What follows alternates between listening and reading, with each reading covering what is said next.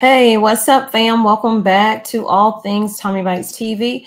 So, um, if you are new here, welcome in. Thank you for joining us. If you are returning, welcome back. So, what's happening now is this company is facing a lot of complaints. They've been found guilty, and now they have to pay up for the things that they were not doing and putting employees at risk as well as putting customers at risk of something happening to them while they are in the store. So let's get into it. And before I do, please give this video a thumbs up, share it out, leave comments. Those things do help the channel grow and get out to more people. Um, with the way YouTube is looking with my channel, they are not pushing my videos at all. It doesn't matter if it's a news story or not. So for those who say, well, you're peddling fear and you, you're doing fear mongering stuff. You're just trying to get the views. Sorry to tell you, the views ain't there with me, but I'm still trying to give you news that you can use in hopes that it will help someone down the road.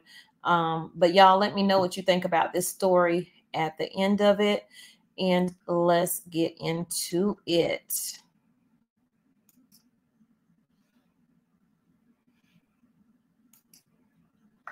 Dollar General yes, Dollar General, has to pay $12 million to settle alleged safety violations, including blocking exits.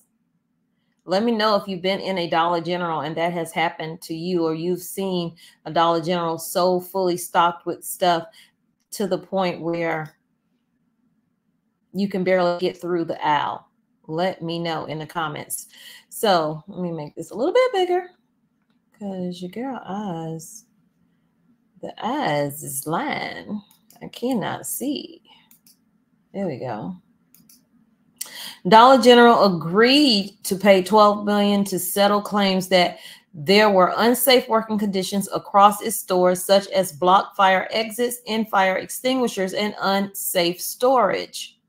Aside from paying a hefty penalty, the settlement between the Labor Department's Occupational Safety, OSHA, and Dollar General will ensure the chain and its retail subsidiary subsidiaries. I'm trying to get the words out. Here we go. This thing keeps popping up. Okay, so they got to make significant workplace changes to safety um, improvements in their stores nationwide. This is not just one store, but this is all 19,000 stores nationwide. This is a Tennessee based company. They must ensure the abatement of any future violations related to block exits, access to fire extinguishers and electrical panels, as well as improper material storage at its stores during the um, agreement term. The company was given 48 hours to submit proof that it was that it has corrected such hazards. So again, let me know in the comments. Is your local Dollar General blocking the owls? I know um, Dollar General, Dollar Tree, all of them be like that. So it says, wait a minute. If it fails to correct such actions, the company will face a daily fine of $100,000, not a month, but daily. Um, though it could amount to as much as $500,000. It will also face additional OSHA inspection and enforcement actions. Under the agreement, Dollar General will have to prioritize worker safety by implementing significant and systematic changes in its operations to improve accountability and compliance. Y'all forgive me for my stuttering right now. Okay, it's late for me anyway to do a story. It's like 10 something at night, and I'm doing a new story for the next day for you guys. so give your girl a like just for that. Okay, among these changes, the company will also be required to develop a safety and health committee and provide safety and health training to both leadership and non managerial employees. Shouldn't they already do that though? That should like be mandatory. It will also have to significantly reduce inventory and increase stocking efficiency to prevent exits from becoming blocked as well as unsafe material storage. I think sometimes though, you know, when they do get supplies in all at once, I think sometimes it's because they haven't been getting like maybe they missed a delivery and so so much comes in at one time and y'all know they short staff. Every Dollar General I have been in is short staff. I don't understand it. So the company is also required to establish an expanded safety structure and a robust safety and health management system, which would include hiring additional safety managers.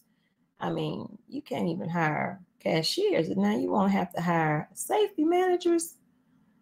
Oh, this why this thing keep doing it? The changes will give employees the input on ensuring their own health and safety, which will give them greater peace of mind. They've probably been complaining and no one's been doing anything about it. And I wouldn't doubt that some of the employees are the reason that they're now having to pay $12 million because they have been reporting them over and over again for work safety issues because you can do that when you're working a job. You can report unsafe conditions. Dollar General has already retained a third party consultant to identify hazards and analyze um, expertise wide contributing um, factors and third party auditor to perform unannounced compliance audits annually at all covered stores, y'all. Because if they don't have it done, they got to pay $100,000 a day. It also created a new safety operations center to detect store hazards and support safety performances. There's also an um, anonymous hotline for employees. I didn't even read this beforehand and I already knew that. And the public to report safety concerns. So let me know is your Dollar General safe and what you think about this $12 million that they now have to pay out? I'm going to tell you what I think. it's late, y'all. Just ignore me for a minute. But listen, listen, Linda. Um, what I think is this 12 million that they have to pay out in fines and possibly a hundred thousand dollars a day if they don't um get up to compliance within 48 hours of this actual ruling. The prices in Dollar General are about to go up, or we're about to hear about more Dollar General stores closing in order to get that money up and pay that fine. That's what I think is going to happen. It's going to be a lot of people losing their jobs, losing their jobs. And um, I just did like a bunch of layoffs on my other channel, Mutha Truckin Wife. The link is in the description box. Go check that video out. It's like, it was like five different companies laying off workers, but I only covered two. And these were two major companies that are laying off a lot of people, y'all, um, in September, in August. So, right in time for the cold weather, right in time for the holidays, all these things. People are going to be without a job. So, I just want to share this bit of news that hopefully you can use. So hit that like, share it out, leave comments, subscribe to the channel if you have not. And if you return it, thank you for coming back. I appreciate you. And if you watched any of my car camping videos, I love you. I love all of y'all anyway, but I really love y'all because not a lot of people watch those videos, but it is what I'm doing. And I'm doing all the things over here, which is why I changed the name to All Things Tommy Bites TV. I'm still going to give you news like I'm giving you now, but I'm also going to show you what I'm doing like on a daily or every other day, what I'm doing around here. And that's to release and relax your mind from listening to so many news stories um, that are out here, some of them not that great. Okay, so y'all take care.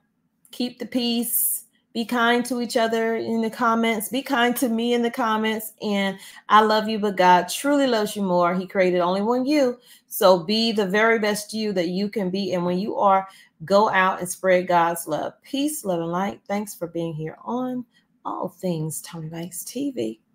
And I'll call you. Turn your notifications on because I'm going to post more than one video today.